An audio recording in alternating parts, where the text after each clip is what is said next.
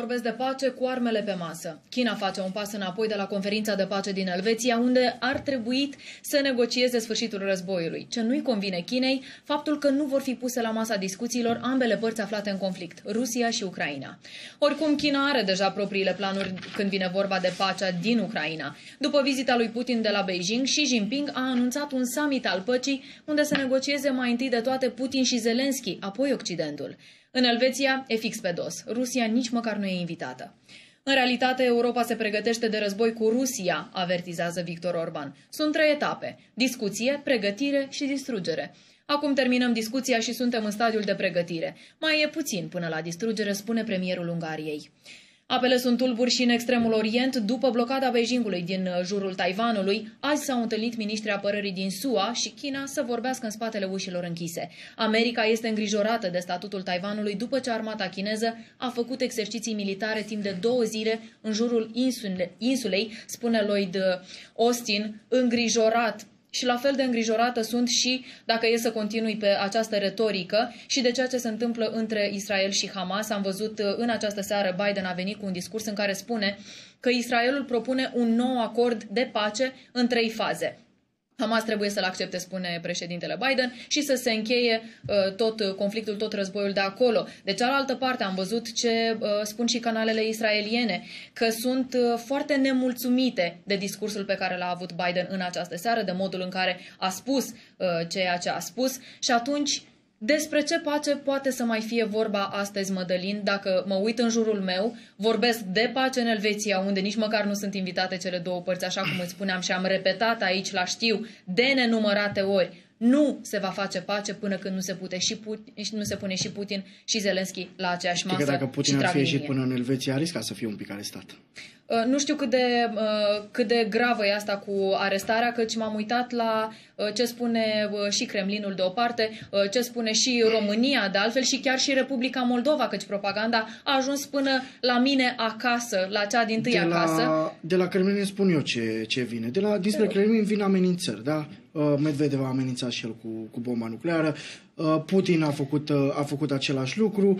Ne-a amenințat că dacă hotărâm, cum am hotărât, da, să lăsăm să-i lăsăm pe ucrainieni să atace cu, cu armament venit de la Occident, da, pe teritoriul Rusiei, atunci ne jucăm cu focul. Am citat din Putin acum. Da? Uite, dacă îți arăt aici, vedem și țările. Dacă până acum se opuneau uh, ca armele occidentale să ajungă până în Rusia, vedem aici, de la 2-3 câte erau la începutul săptămânii, uh, cred că depășim deja 10 da, uh, țări state NATO și nu numai, apropo, ă, sunt de acord ca armele lor să lovească ținte militare de pe teritoriul Rusiei. Un lucru care este îngrijorător în, ă, în Republica Moldova astăzi este un fake news care umblă și anume certificate de înrolare în armată care au ajuns în nordul ă, Republicii Moldova, în Bălți mai exact. A venit și Ministerul Apărării de la Chișinău care a spus foarte clar că este fake, nu trebuie să se ducă, nu începe nicio procedură de război, deși, dacă mă uit la amenințările făcute de Victor Orban, îmi pun niște semne de de întrebare și vreau să merg la Marcela cu aceste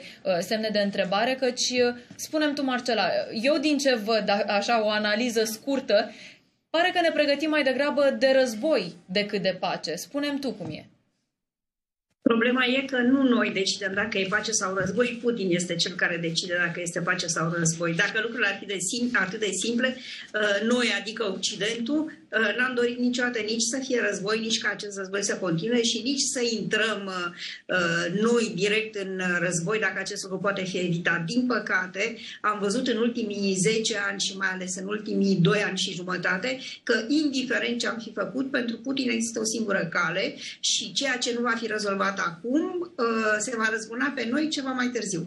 Deci dacă acum, așa cum propun unii, dăm înapoi și îl lăsăm cu, pe Putin cu ceea ce a câștigat deja, așa cum l-am lăsat cu uh, Crimea, așa cum l-am uh, lăsat cu republicile uh, independentiste din, uh, din Georgia, uh, peste 10 ani după ce reface forțele, va continua, pentru că el mizează pe slăbiciunile noastre. El a văzut foarte bine că lumea în Occident se teme de război, că ne-am învățat cu o stare bună, uh, populația lui e mulțumită să mănânce cartofi uh, vara, toamna, iarna și în orice anotimp și să stea cu wc în fundul curții, ca să zic așa, în timp ce în Occident uh, banii noștri sunt totuși pentru bunăstarea noastră, mai mult decât pentru uh, cursele de înarmare. Uh, așadar, el mizează pe slăbiciunile noastre și noi trebuie să depășim momentul ăsta, pentru că oricum, dacă nu, ceea ce nu facem acum, repet, se va răzbuna pe, pe, pe noi uh, mai târziu. Oricum, părerea mea e că am așteptat foarte mult. În ceea ce privește eventuala amenințare nucleară, uh, am mai spus și altă dată, distanța de la Moscova la Paris, de exemplu, că ne amenințau, uh, pe, sau în fine, uh, spuneau că o să trimită o bombă asupra Parisului sau asupra Londrei, uh, distanța de la Moscova la Paris e exact aceeași cu distanța de la Paris la Moscova și ăsta este motivul pentru care nu vor lansa niciodată o bombă nucleară.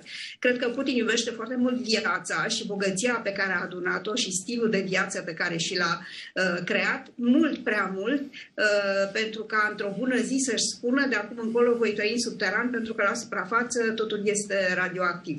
Așa că depinde, nu trebuie să ne fie frică, îl citez aici pe Papa Ioan Paul al II-lea, nu trebuie să ne fie frică, trebuie să, să avem curajul să uh, vedem uh, realitatea așa cum este și să ne luăm la trântă cu ea.